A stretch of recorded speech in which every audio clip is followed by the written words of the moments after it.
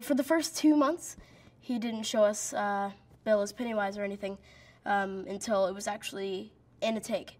So um, that was definitely an amazing idea because it, it got our real reactions, and it definitely got it.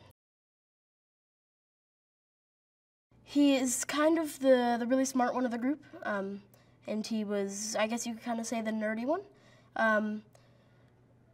But he never had any friends at the start, um, which he didn't think that was a bad thing uh, until he met the Losers Club. Then he thought it was the greatest thing in the world.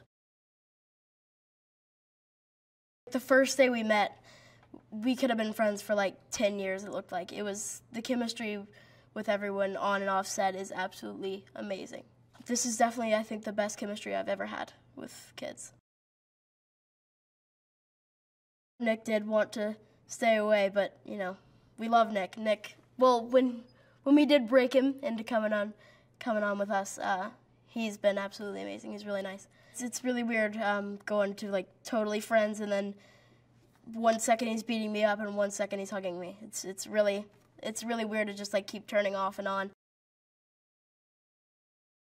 Oh my gosh, he is so nice. Like right before takes, he'll be like, "So uh, Finn, you you got to remember that move, right?" It's like, "Yeah, okay, I got." It. And then uh, one time when Jack was getting slobbered on, his watch was fixed and he he had a he had a broken arm, so he couldn't move that. Um, and was like, "Can somebody help me with my watch?" And then Bill runs over and fixes his watch and then runs back and gets in character.